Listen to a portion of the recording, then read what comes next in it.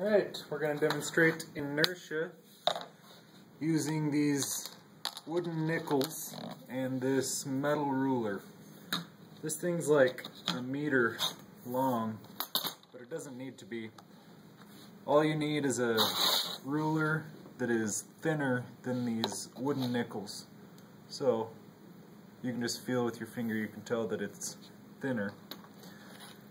And it has to be thinner than the nickel because we're going to use this metal ruler to knock the bottom nickel out from under this stack. So, here we go.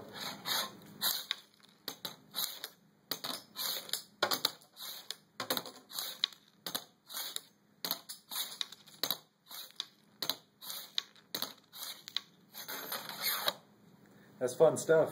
You should try it at home.